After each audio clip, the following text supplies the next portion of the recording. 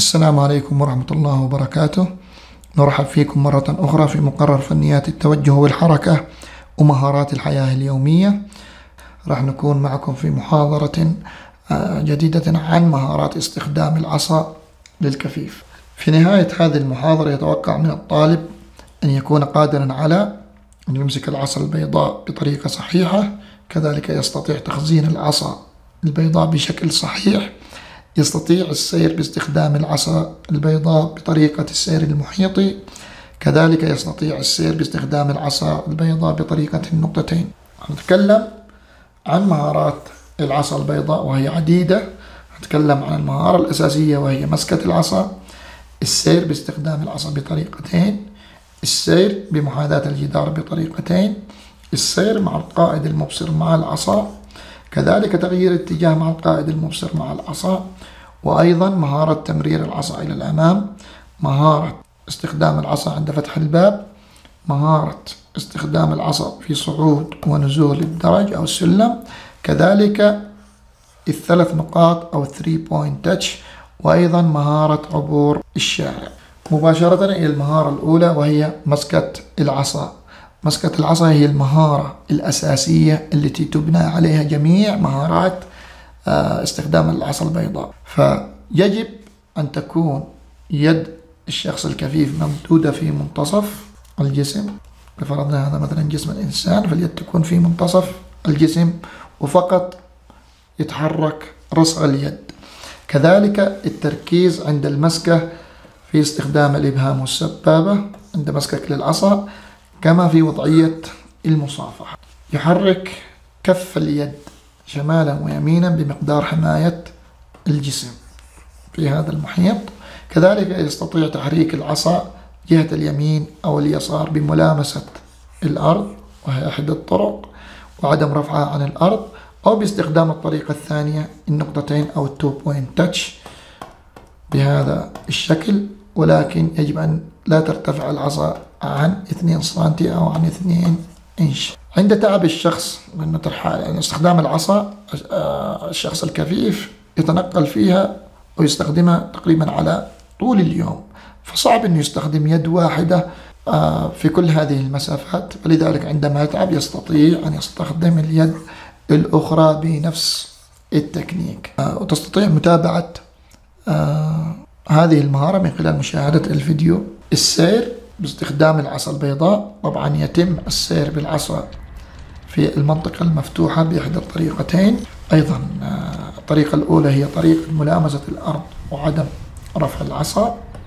إذا فرضنا أن هذا جسم الإنسان أو جسم الشخص الكفيف راح تكون هذه المسافة هي مسافة آه، حيز تحرك العصا اللي هي تحمي محيط الإنسان. فتكون ملامسة العصا بهذا الشكل. أو بالطريقة الثانية وهي استخدام النقطتين ال two point touch وسبق الحديث عنها حيث أن العصا لا ترتفع عن الأرض بمقدار 2 إنش أو 2 سنتي. كذلك تكون خطوة الشخص عكس العصا. فلو فرضنا أن الشخص تكون خطوته في هذا الاتجاه تكون العصا بهذا الشكل. إذا كانت الخطوة الثانية في هذا الاتجاه تكون النقطة في هذا الشكل. ويستمر على هذا المنوال ويسير بهذه الطريقة.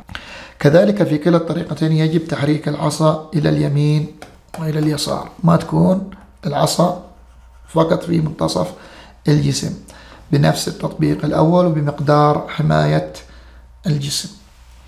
كذلك طريقة ملامسة الأرض تكون مناسبة في الأماكن غير المعروفة تجنبا للخطر كالحفر أو الحجارة. فهنا يجب البعد عن استخدام النقطتين لأنها قد تسبب حوادث.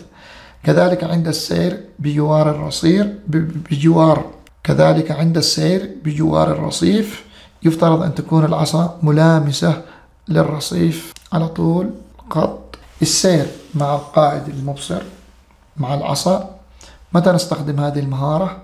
نستخدم هذه المهارة عندما يكون هناك زحام في المنطقة التي يسير فيها الشخص الكفيف. خطواتها طبعا راح يكون سير الشخص بداية باستخدام العصا بإحدى الطريقتين إما ملامسة الأرض أو إما النقطتين أو ال two point touch.